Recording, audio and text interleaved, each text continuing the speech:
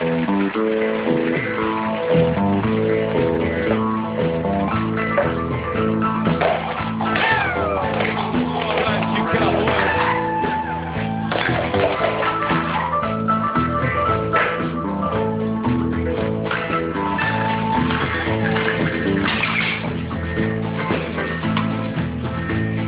old cowboy went riding out one dark and windy day. On a ridge he rested as he went along his way.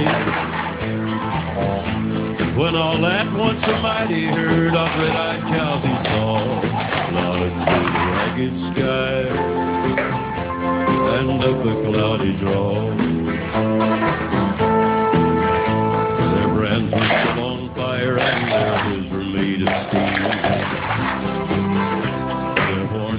Black and shiny and their hot breath he could feel. Bubbles of fear went through him as they thundered through the sky, for he saw the riders coming hard, and he heard their mournful cry. Yippee-yi-yo,